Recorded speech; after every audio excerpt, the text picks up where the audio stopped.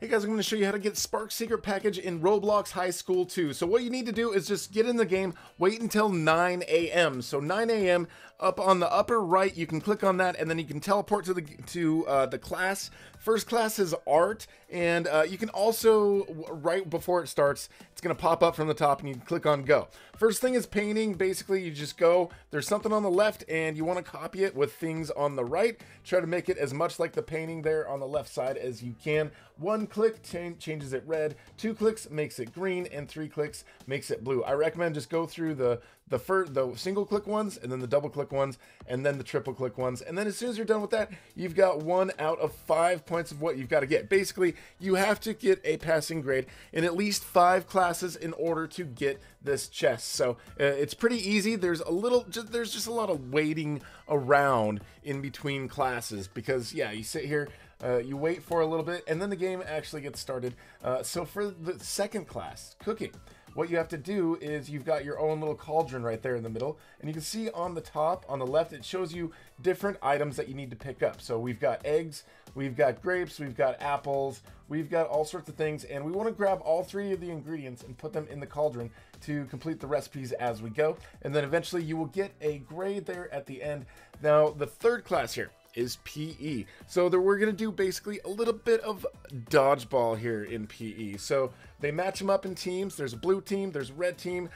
It doesn't matter necessarily if your team is winning or losing. As long as you can do pretty well for your team, try to shoot the other people down with the dodgeballs basically you grab them i'd say get a little bit close aim for people and then uh, of course throw and hit them then when you don't have any more dodgeballs left go to the back uh, try to dodge the yellow ones. So the yellow ones are active. Stay away from the yellow ones that are flying at you, and uh, try to only run into the red ones, and you should be good to go. Uh, so there was two rounds. One which was kind of a team elimination thing.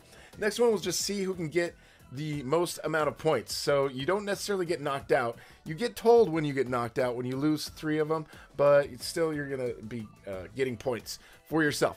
Next is lunch. So this is just a big waiting period. You don't really have to eat any food or anything. You're just going to have to wait around for the clock for a little bit for, for that to tick forward. So we're going to cut through that. And uh, next thing we have here is science and engineering.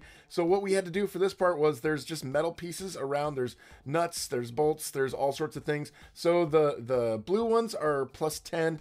The gold ones are plus 20. The little uh, nuts, those are just plus one. So you want to get as many of those as possible in order to help your team. So the next thing is math. Math, of course, pretty quick, pretty simple. All you have to do is answer some questions with math. There's a little calculator. It's going to show on the top some of uh, the equations. And all you have to do is type the answer and click on submit. But of course, as between all the classes, you have to wait a little bit. I've actually sped this up at like five times as much time. So this is going to take you maybe 15 or 20 minutes to get it done. But you're going to go through all these math questions. It's going to show a little timer and show uh, how much time it takes for you to answer the questions. So that's the thing. It just goes basically on how much time and if you get the question correct. I think it's more important than you get that you get the question correct than doing it in a, certain amount of time. So uh, just go through, keep answering them. The last ones seem to get like a little bit more complicated, uh, but get that done, and you can see there on the bottom right, you've got the badge, and you can move on because you've got that crate. Thank you for watching, guys. if you'd like to support, please use code DeeterPlay when buying Robux, and also make sure you subscribe and you've got the notification bell on, not only for the launchers, because I've got launchers for all of these launch boxes, but also future news, events, and free items that hit the catalog on Roblox. So thank you for watching, and we'll talk to you guys later.